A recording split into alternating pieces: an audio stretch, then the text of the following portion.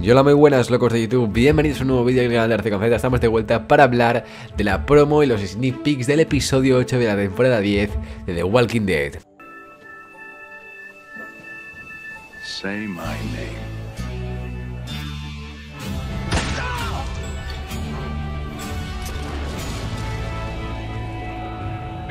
Well. Efectivamente, promo y sneak peeks, que hay uno que no lo he reaccionado en el canal, los demás sí, ya sabéis que hago un vídeo conjunto ahí reaccionando todo, a todas las cosas que salen, pero eh, hay un sneak peek en concreto que es más bien un avance del episodio de Dante, eh, Dante haciendo su, plan con Alpha, y, eh, al final sí se va a ver cómo Dante hizo todo lo que hizo, cómo habló con Alpha, cómo todo eso, eso, se va a ver al final y hay un, un avance del episodio acerca de ello, ¿no? Pero no voy a reaccionarlo, en plan no voy a subir la reacción a pesar de que la he hecho porque tiene mucho copyright y ya sabéis que The Walking Dead a la mínima me quita el vídeo y paso a hacer un vídeo para nada, ¿no? O sea, ya sabéis que el copyright si es un minuto, si son dos, vale, pero al ser tres y pico ya no me atrevo, no me atrevo, lo siento, pero no me atrevo. Así que eso, eh, vamos a hablar de la promo, empezando por la promo y después seguimos con los sneak peeks. Eh, la promo ha sido una, promo buena, 20 eh, segundos, 20 y pico, muy chulos. Donde hemos visto ya que Sidic ha muerto, Sidic lamentablemente ha muerto. Me sabe mal, me sabe mal por Sidic porque ha estado 8 episodios el cabronazo, bueno, más bien 7. Ahí con visiones, con visiones, con visiones, para el final, ¡pum! La cáscara, muere. O sea, es como diciendo, joder, pobre Sidic, tío. O sea, tanto, tantas visiones, tanta, tanto sufrimiento para al final morir. Bueno, es lo que hay. Al final, al fin y al cabo, estaba ante ahí, que ha sido el, causante de todo esto. El causante, yo creo, de los problemas, ¿no? o sea, Sidic no se ha dado cuenta antes, se dio cuenta en el anterior episodio, al final mm, Dante pues lo mata. Bueno, lo, ahoga, es lo que hay. Pero bueno, Sidic muere y Rosita al final no creo que muera ya porque es un personaje que, además, lo de la infección está del agua contaminada, por lo que se está viendo, eh, pues Dante no le salió bien el plan, no le salió muy bien.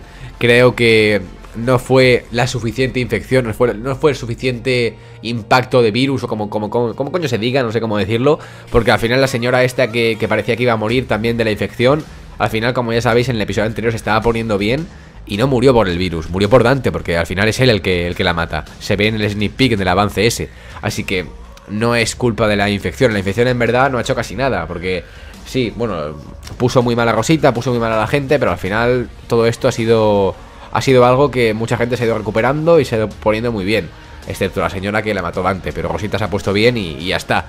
Yo creo que Rosita ya tiene tiempo para largo en The Walking Dead. Pero bueno, eso. Además que sería muy cruel, sería muy cruel ver a, a, Coco sin madre y padre, ¿eh? Joder, madre mía, pues pobre Coco. Pero bueno, Ezequiel se va a reencontrar con Carol en este episodio. No sé si Ezequiel le dirá lo del cáncer que tiene. Espero que sí, espero que sí se lo diga, ya que la radio al final no le dijo nada. Espero que sí se lo diga. Eh, respecto a Daryl y, Carol, también se les ve ahí juntos. Yo creo que van a ir a buscar a Lidia. Es lo que creo que va a pasar.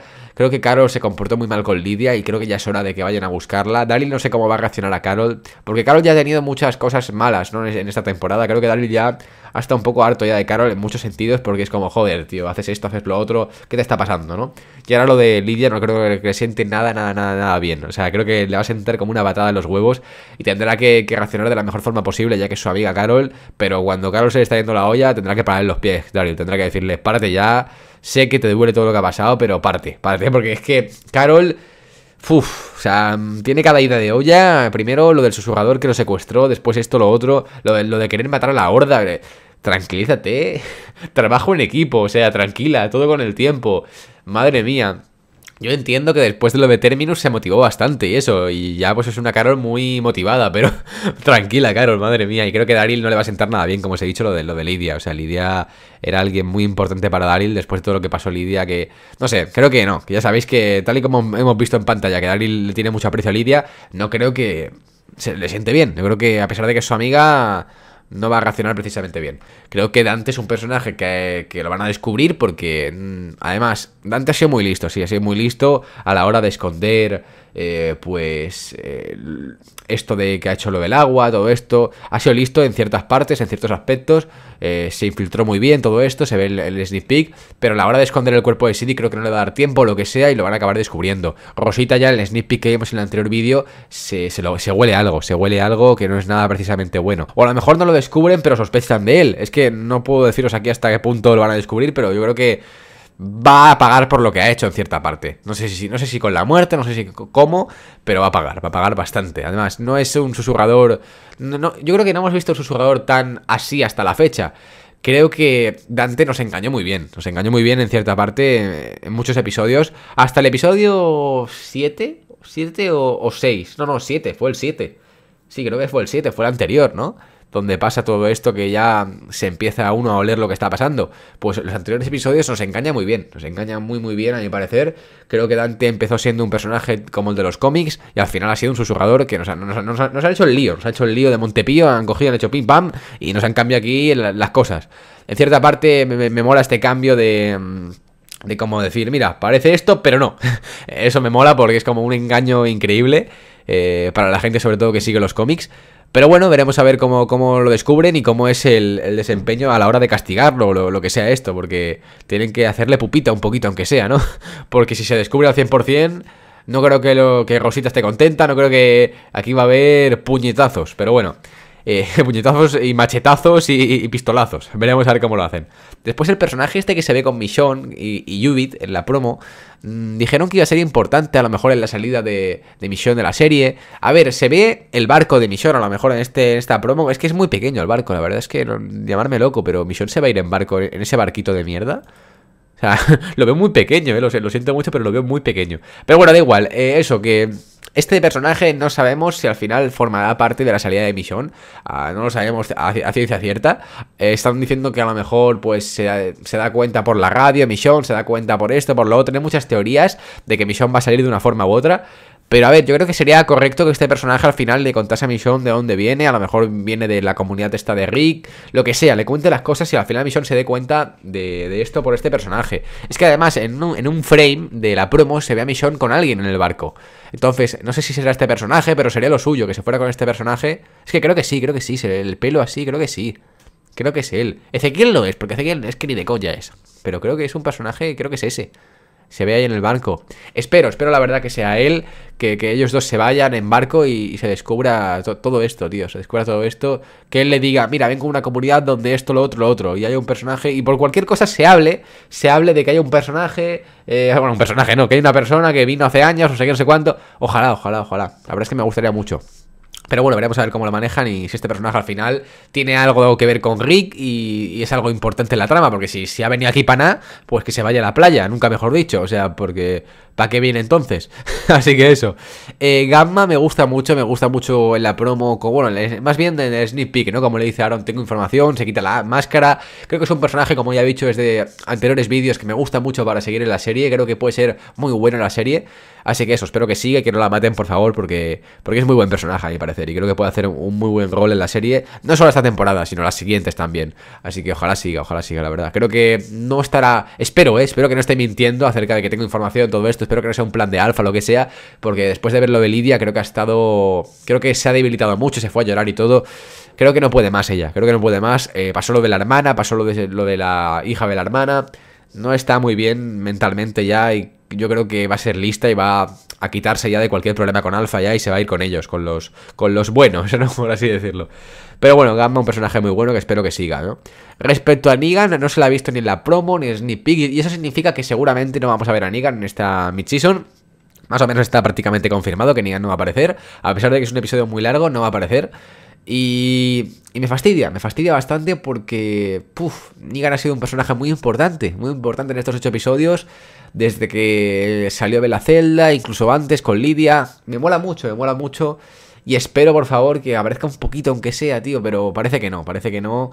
Y, y si Negan no aparece, puede significar dos cosas. Puede significar dos cosas. Una, que Alpha a lo mejor pueda morir por algún personaje diferente y al final Negan no la mate.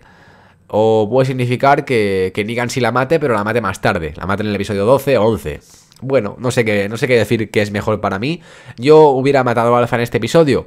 Eh, lo digo así de claro, pero que la deciden matar más tarde en el caso de que la maten, pues no sé, yo me voy a esperar, no voy a opinar ahora mismo de que si me parece fatal o, muy bien, no quiero decir aquí tampoco las cosas antes de verlas, así que eso, me callo y ya está. Porque sé que mucha gente eh, en el anterior vídeo me dijo, es que quieres que todo se parezca al cómic. Yo voy a decir una cosa muy clara, y es que a mí el cómic en ciertas partes eh, en la serie, Para empezar, la serie es algo basado en, el cómic. La serie está basada en el cómic y hay muchas cosas que se han cambiado. Por eso hay, ciertas cosas, por ejemplo, como la muerte de Carl, que se ha cambiado eso respecto al cómic y no me ha gustado. No me ha gustado nada. Pienso que ha, salido. Les ha salido el tiro por la culata. No, me ha molado lo suficiente, creo que lo han hecho mal sabiendo que Rick iba a ir también. O sea, son cosas que han, hecho diferentes al cómic y no me han molado y a mucha gente tampoco les ha molado. Entonces, por eso tengo miedo a que varias cosas que hagan en la serie que sean diferentes al cómic, pues salgan también otra vez por el tiro de la culata. Que salgan otra vez mal, ¿no? Que salgan otra vez mal. Entonces, por eso tengo miedo y por eso todo lo, quiero un poco parecido al cómic. Por ejemplo, Benigan, tengo miedo de que al alargar la trama de Alpha, pues todo salga peor de lo, de lo que podría haber sido matar a Alpha en el episodio siguiente, que es el 8. No sé, que a lo mejor al final después es la hostia y Alpha vive y es la puta hostia porque Alpha consigue vivir y Ojalá, ojalá sea, ojalá me equivoque, ojalá sea increíble, ojalá lo, lo, deseo con todo mi corazón, porque creo que, como os he dicho, sí, Samantha Morton es muy buena actriz. ¿Yo lo hubiera matado en este episodio? Sí. ¿Que puede también hacerlo muy bien en los siguientes? También, o sea, no voy a decir que no, no voy a decir que no. Espero que lo haga genial y espero que sea una muerte, si muere al final del episodio 12 o 11, sea una muerte mejor que la del episodio 8 que podría haber sido. Ojalá, porque lo deseo mucho, de verdad. Y si lo hacen así mejor y si tienen más tiempo para hacerlo, pues mejor. Que a ver, en cierta parte no, no, sobre todo no me encaja esto muy bien porque no sé cómo van a hacer todo esto tan rápido, ¿no? Y después también van a añadir a lo mejor lo del Commonwealth. Buah, o sea, tienen muchas cosas que añadirlas en tan poco tiempo no sé cómo lo van a hacer. Por eso me parece raro que Alpha siga viviendo. Veremos a ver, ¿no? Veremos a ver. A lo mejor lo del Commonwealth al final se va a la temporada 11 y no es como pensamos. No lo sé, la verdad. También se está diciendo ahora que la serie puede terminar la temporada 12. O sea, son muchas cosas que hay que pensarlas fríamente, hay que ir poco a poco.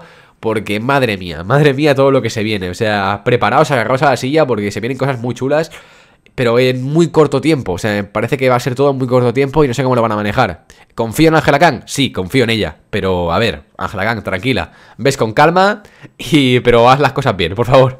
Espero os haya encantado. Eh, muchas ganas de ver a Dante, muchas ganas de ver a Rosita, a todos los personajes otra vez más.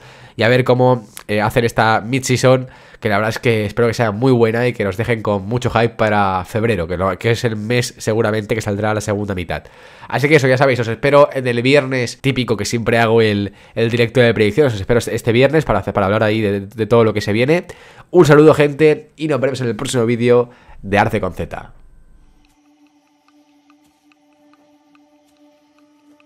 pig, little pig. Uh, let me in, and there you are.